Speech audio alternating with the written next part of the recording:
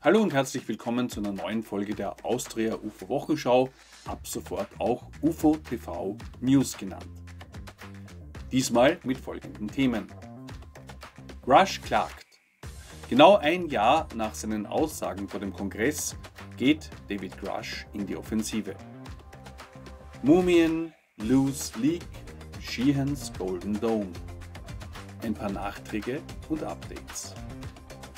BBC, wait for it. Eine Besprechung der BBC UFO-Serie Paranormal. Internationale UAP-Umfrage.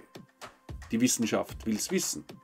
Alles darüber und wie ihr selbst teilnehmen könnt in diesem Beitrag. UFO TV Austria im neuen Gewand. Was hat sich geändert? Was bleibt gleich? Videotipps.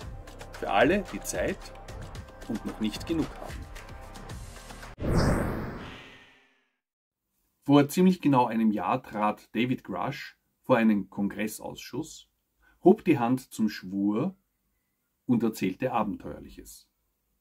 Auch seine beiden Kollegen David Fravor und Ryan Graves berichteten Unglaubliches aus ihrer Karriere als Navy-Piloten. Aber was Grush erzählte und schon einen Monat zuvor in einem Fernsehinterview gesagt hatte, schoss den sprichwörtlichen Vogel ab. Geborgene UFOs, durch die US-Behörden, Backengineering, lebende und tote Aliens. So unglaublich das alles klang, er sagte es unter Eid aus und die Kongressabgeordneten nahmen ihn und diese Informationen völlig ernst und agieren seitdem vor und hinter den Kulissen, um sie zu verifizieren und vielleicht auch einmal der Öffentlichkeit mitzuteilen. Es war also wahrscheinlich kein großes Wunder, dass sich die Bewahrer der Geheimnisse in erster Linie auf Grush stürzten und versuchten, seine Glaubwürdigkeit zu untergraben. Was tatsächlich sehr schwer ist, bei dessen tatsächlich makellosen Karriere sowohl im Militär als auch im Geheimdienst. Einen einzigen dunklen Punkt gab es in seiner Vergangenheit, nämlich den, dass er nach seinen Kriegseinsätzen unter posttraumatischem Stresssyndrom litt und nach dem Selbstmord eines Kameraden unter Alkoholeinfluss selbst Suizidpläne hegte. Seine Frau telefonierte nach der Polizei und er wurde kurzfristig zum eigenen Schutz angehalten, aber wenige Stunden später wieder entlassen. Diese Krise überwand David Grush mit Therapie und anderer Hilfe und behielt seine Sicherheitsfreigaben. Etwas, was völlig undenkbar wäre, wäre er später noch in irgendeiner Weise psychisch eingeschränkt gewesen.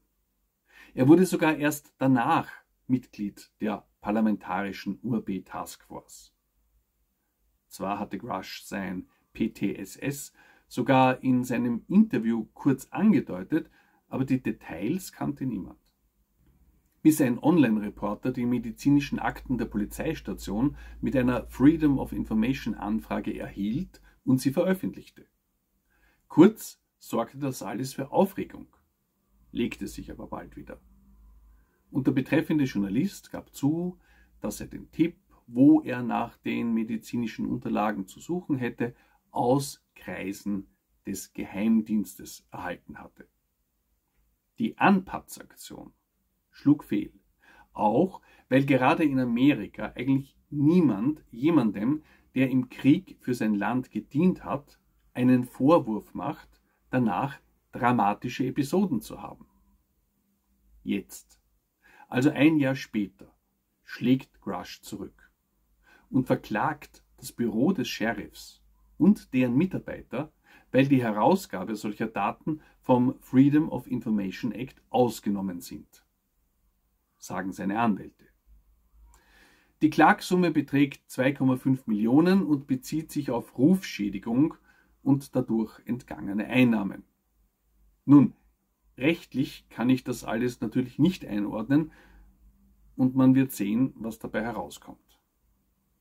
Aber ich habe mir so meine Gedanken gemacht, was die Taktik betrifft. Wieso diese Klage und warum jetzt? Natürlich, es geht ums Geld, kann man einwerfen, aber es ist eher fraglich, ob Grush das jemals erhält. Und vor allem die volle Summe. Mein Verdacht ist ein ganz anderer. Das Enthüllungsbuch von Lou Elizondo, ein enger Freund von Grush, kommt in drei Wochen heraus. Der Film über das UFO-Geheimprogramm der US-Behörden von James Fox folgt wenig später. Man hört, dass darin neue Whistleblower vorkommen werden, die vielleicht auch danach öffentlich vor dem Kongress aussagen werden. Meine Schlussfolgerung. Die Klage von Grush ist eine deutliche Warnung an die Gatekeeper, also an diejenigen, die in Geheimdiensten und Militärs gegen die Enthüllung arbeiten. Die Botschaft ist, wir wehren uns. Wir setzen Gegenangriffe. Wir werden euch verfolgen, notfalls vor Gericht.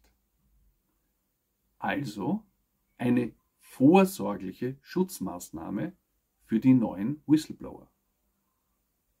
Sicher, nur eine persönliche Vermutung und Analyse, aber ich glaube eine durchaus wahrscheinliche. Die UFO-TV News werden die Sache jedenfalls verfolgen. Sowohl den Gerichtsprozess als auch alle weiteren Schritte der Enthüllung und die, wie ich finde, immer schwächeren Versuche der Verhüllung. Es gibt Dinge auf diesem Gebiet, über die könnte man täglich berichten. Muss man aber nicht. Dazu gehören etwa die peruanischen Trockenleichen. Denn tatsächlich gibt es fast täglich neue Berichte über diese Sache. Neue Mumien werden präsentiert, neue Untersuchungen. Ich bin da eher zurückhaltend und warte auf die großen, definitiven News. Aber um an den neuesten Entwicklungen nicht ganz vorbeizugehen, hier sozusagen ein Newsflash. Erstens. Es gibt zwei neue Trockenleichen, diesmal wieder in der Größe von Menschen. Sie sind wieder definitiv dreifingerig und zumindest eines der Wesen wirkt vom Kopf her sehr seltsam und deformiert. Zweitens.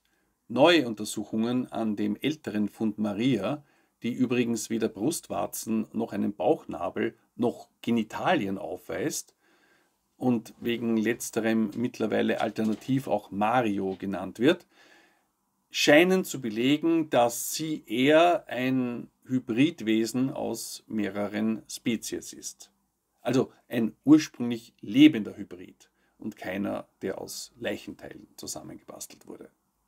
Drittens, die Untersuchung der Füße mehrerer der Leichen, die abgenutzt und angesenkt wirken, zeigt, dass sie zu Lebzeiten offenbar längere Zeit ohne Schuhe über heißes Terrain gegangen sind oder gehen mussten. Was für mich so wenig Sinn ergibt wie viele andere Informationen rund um die Mumien. Also lieber weiter zum nächsten Thema.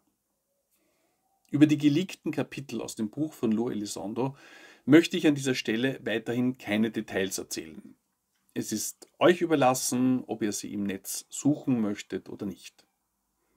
Tatsache ist jedenfalls mittlerweile, dass sie definitiv nicht von Elizondo freigegeben wurden. Es entsteht eher der Eindruck, dass versucht wurde, ihm damit zu schaden. Erstens finanziell durch die Vorveröffentlichung es deutet nämlich einiges darauf hin, dass das gesamte Buch geleakt werden sollte. Und zweitens durch gewisse Stellen, die man vorab aus dem Kontext nehmen kann, in dem Versuch, ihn damit lächerlich zu machen. Ich würde sagen, das ist nicht gelungen. Ich habe auch nur Ausschnitte und ein paar Berichte gelesen. Für Neugierige, das Inhaltsverzeichnis findet sich in der letzten Wochenschau, aber was für mich auf jeden Fall deutlich wird, ist, dass sich Elizondo in dem Buch kein Blatt vor den Mund nimmt und über alles spricht, über das er und andere in den letzten Jahren nur getuschelt haben. Und es mit Namen, Daten und Fakten belegt. Also genauer gesagt, die Realität des UFO-Phänomens und vieles, das damit in Beziehung steht. Nun, mehr dann in drei Wochen. Bei meiner Videoempfehlung das letzte Mal für das Interview mit Daniel Sheehan hatte ich vergessen zu erwähnen, dass er darin auch zum Thema Bergung von UFOs einige brisante Aussagen gemacht hat. Zum einen nennt er das vermutlich satellitengestützte Überwachungsprogramm der Geheimdienste, mit dem sie UFOs verlässlich aufspüren und potenzielle Landungen oder Crashs orten können, überraschenderweise beim Namen. Offenbar heißt es Golden Dome. Dessen Existenz hatte auch Grush schon das eine oder andere Mal angedeutet und es wurde auch in dem großen Aufdeckerartikel von Matt Ford und Kollegen erwähnt. Dieser Kanal hat darüber berichtet. Tatsächlich bestätigte Sheehan diesen Artikel auch noch in weiteren Details, nämlich dahingehend, dass es eine existierende Abteilung für Bergungen innerhalb der CIA gebe und solche auch aktuell permanent stattfinden würden. Spannend. Alle relevanten Links jedenfalls in der Beschreibung. Vor ein paar Folgen wurde hier eine neue BBC-Serie angekündigt. Eigentlich die zweite Staffel einer Serie mit dem Titel Paranormal. In dieser zweiten Staffel, bestehend aus vier Folgen, geht die walisische Präsentatorin und Journalistin Shian Eleri einer Welle von UFO-Sichtungen im Jahr 1977 in Südwales nach. Dieser Geschichte war auch eine Folge in der Spielberg-Netflix-Serie Encounters gewidmet. Eine Serie, die übrigens, und auch das ist berichtenswert, soeben für einen Emmy nominiert wurde und zwar in der Kategorie Outstanding Science and Technology Documentary. Durchaus ungewöhnlich für eine UFO-Dokumentation. Doch zurück. 1977 berichtete eine Gruppe von walisischen Schulkindern, ein UFO beobachtet zu haben. Später fertigten sie unabhängig voneinander deckungsgleiche Zeichnungen ihrer Sichtungen an.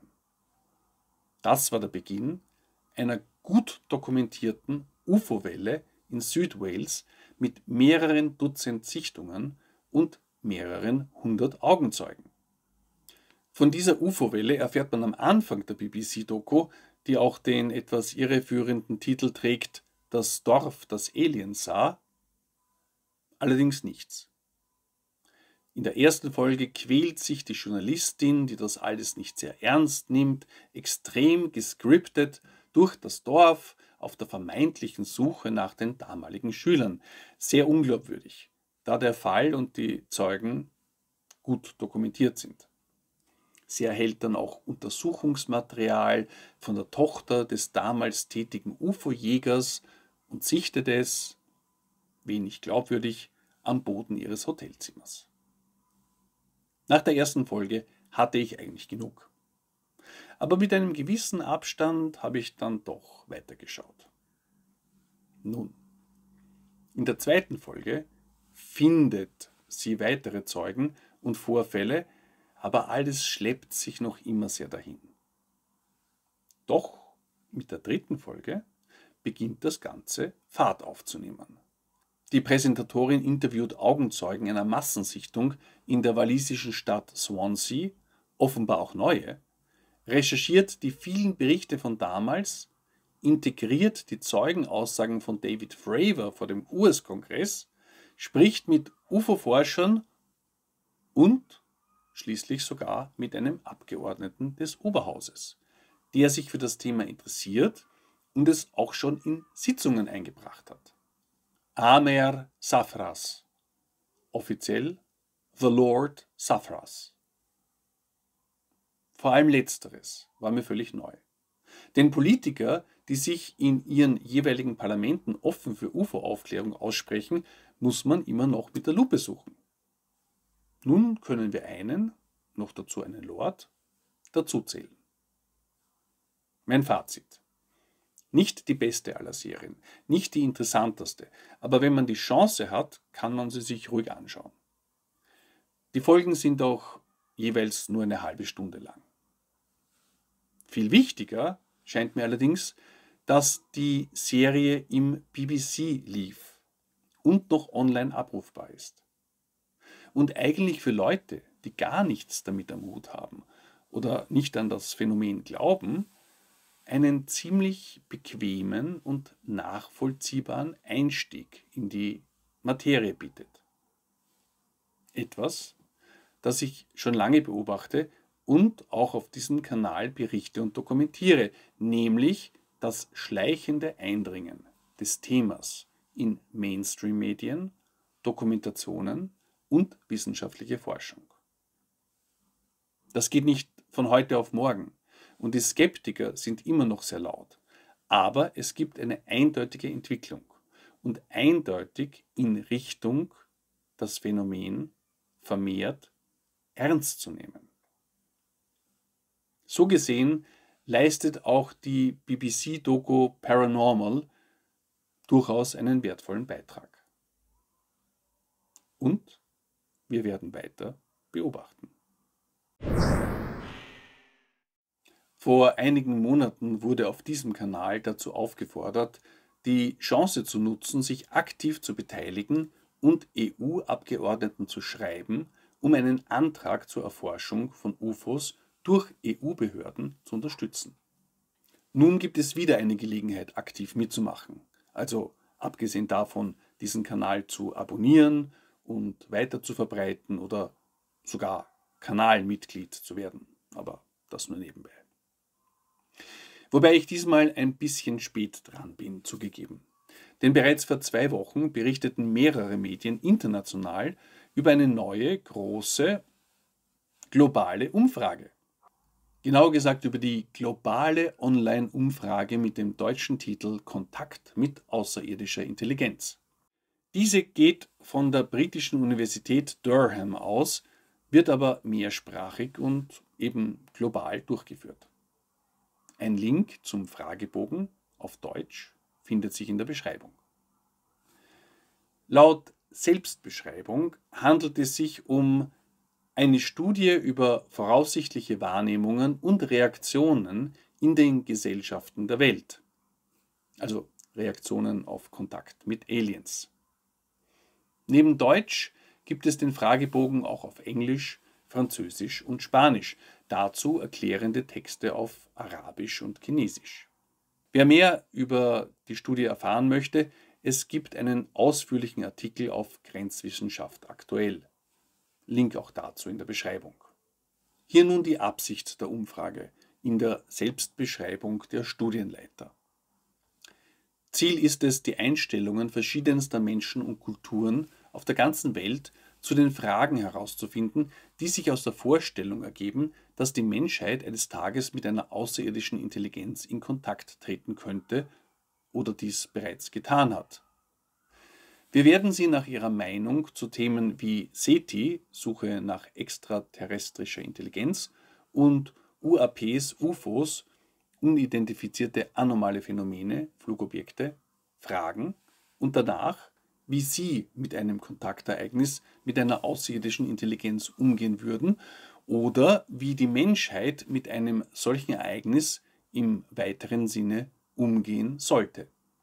Die Fragen sind umfassend und es geht viel um persönliche Befindlichkeit dem Thema gegenüber. Ich habe bereits an der Befragung teilgenommen und finde sie im Großen und Ganzen gut gemacht. Mit wenigen Einschränkungen etwa, dass man mehr Positives hätte einbringen können. Es dominieren doch ein bisschen die erschreckenden Aspekte eines potenziellen Kontakts. Was ich aber gut finde, ist, dass es unter jeder Frage auch ein Feld für freie Antworten gibt, falls man mit der vorgegebenen Auswahl nicht ganz zufrieden ist und eigenes ergänzen möchte. Zwei der Studienautoren sind Engländer, der dritte ist Deutscher und in der Szene nicht unbekannt. Es handelt sich um Dr. Andreas Anton vom Institut für Grenzgebiete der Psychologie und Psychohygiene in Freiburg und derzeit Honorary Fellow an der Durham Law School. Wie man so hört, gibt es international rege Beteiligung und mehrere tausend Personen haben daran bereits teilgenommen. Auch viele Medien berichten darüber recht brav. Also eine gute Gelegenheit, etwas für die Aufklärung zu tun und auch ein wenig über die eigene Einstellung nachzugrübeln, wenn man die Fragen beantwortet. Falls ihr das tut, würde es mich freuen, danach von euch zu hören. Also, was haltet ihr von der Studie? Was habt ihr selbst bei den Fragen empfunden und so weiter? Wortmeldungen dazu bitte gerne im Kommentarbereich unter diesem Video. Natürlich werden wir die Sache weiterverfolgen und am Schluss über das Ergebnis der Studie berichten. Manchen Leuten, die diesen Kanal schon seit längerem begleiten, gegründet wurde ja im November letzten Jahres, wird die Veränderung bereits aufgefallen sein. Für AbonnentInnen gab es auch eine direkte Information und für Kanalmitglieder sogar um einiges früher. Aber das nur nebenbei. Manche von euch haben vielleicht auch die Umfrage dazu mitbekommen, ob ich diesen Kanal umbenennen soll. Herzlichen Dank an alle, die sich daran beteiligt haben. Der Hintergrund ist jedenfalls ganz einfach. Als ich mit der Sache hier startete, wollte ich etwas schaffen, das sich ein wenig von anderen UFO-Kanälen abhebt. Mit dem Logo der alten Austria Wochenschau. Übrigens genauso wie die Melodie original aus den 50er Jahren stammend. Also als es vor Kinofilmen noch Kurznachrichtenblogs, eben die sogenannten Wochenschauen gab, wollte ich mehreres ausdrücken. Erstens, es geht um News, und zwar wöchentliche News eben in Form einer Wochenschau. Zweitens, der Kanal ist in Österreich angesiedelt. Drittens, ich nehme das Thema zwar ernst, aber mit einem gewissen Augenzwinkern. Sowohl Name als auch Logo haben dieses Ziel erreicht. Es gab Aufmerksamkeit, anfangs vor allem in Österreich, wo nicht viel Vergleichbares existiert und überhaupt eine gewisse Neugier im Netz und in der Szene überhaupt. Nun ist der Kanal aber gewachsen und die Anzahl der Abonnenten außerhalb von Österreich hat die der österreichischen Abonnenten schon weit überholt. Und im Gegensatz zu RTL die Abkürzung für Radio Television Luxemburg, fand ich es an der Zeit, mich von der Herkunftsbezeichnung zu trennen. Es galt, ein bisschen allgemeiner und vielleicht auch durch das Logo glatter und professioneller aufzutreten. Um die Ernsthaftigkeit des Kanals mehr zu betonen, denn die Berichterstattung hier war ja schon immer ernsthaft. UFO TV Austria heißt nun also UFO-TV, beziehungsweise UFO-TV aktuell als YouTube-Handle. Es gibt ein neues Logo und eine neue Intro-Musik. Sonst ändert sich nichts. Die Wochenschau existiert weiterhin und wird alternativ als UFO-TV Wochenschau oder UFO-TV News bezeichnet werden. Das Langformat Nachspiel mit den intensiveren Auseinandersetzungen zu Aspekten des Themas behält seinen Namen. Ebenso das noch neue Interviewformat UAP Talk. Und die Breaking News heißen weiterhin Breaking News. Das alte Logo wird nicht ganz verschwinden, aber langsam ausfäden. Wer deswegen nostalgisch ist, keine Sorge, die alten Videos bleiben ja online. Oder ihr bestellt euch eine Kaffeetasse oder ein T-Shirt mit dem alten Logo.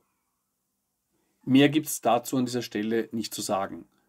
Aber ich ziehe meinen allgemeinen Aufruf vor, doch bitte diesen Kanal auch mit seinem neuen Namen zu abonnieren, dieses Video zu liken, zu kommentieren und zu verbreiten.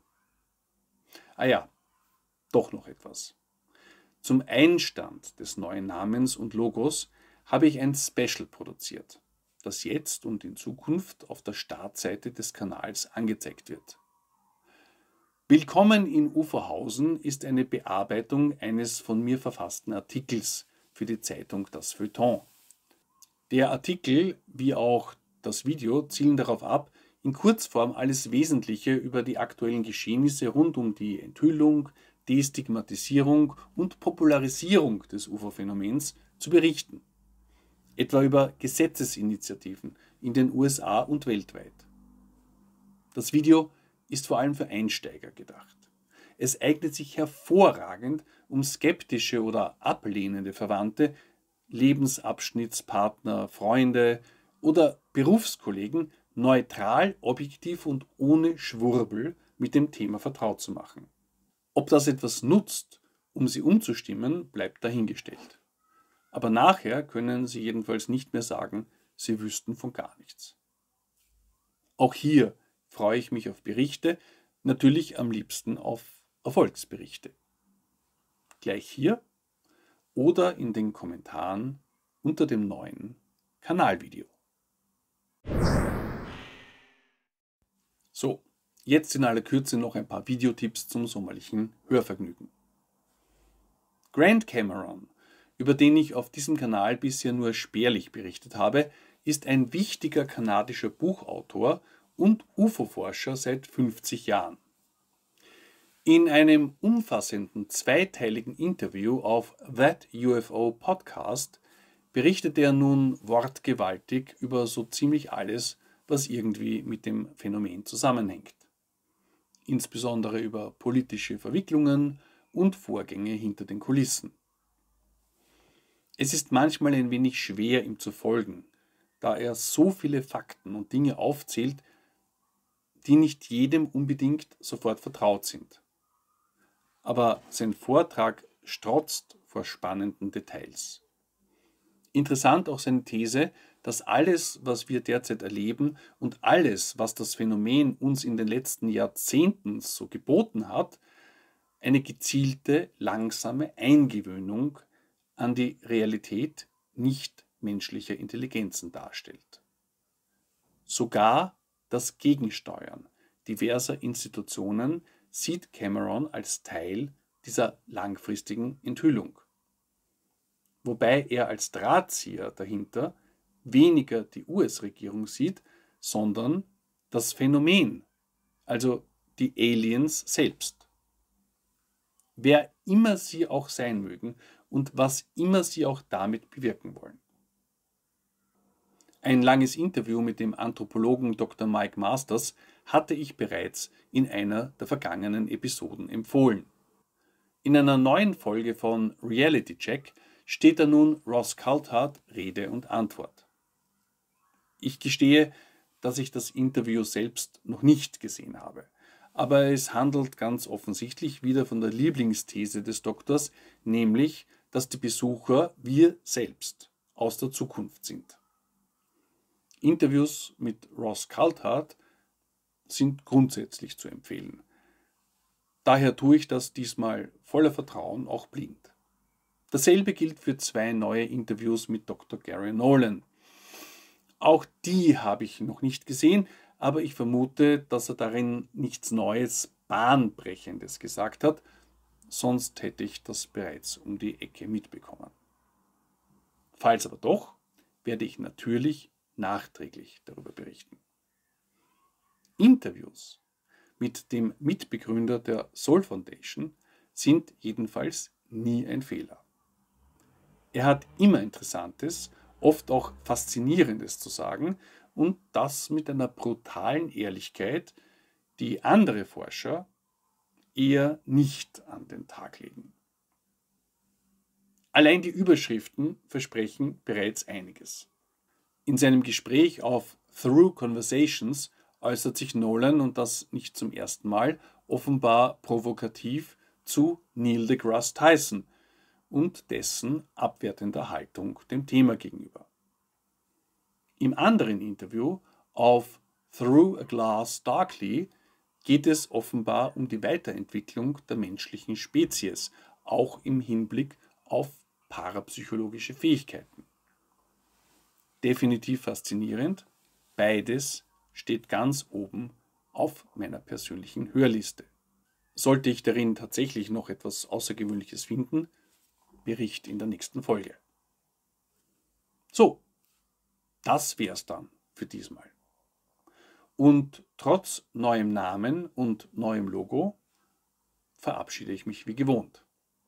Ich wünsche euch also einen schönen Sommer, immer schön nach oben schauen und bis zum nächsten Mal.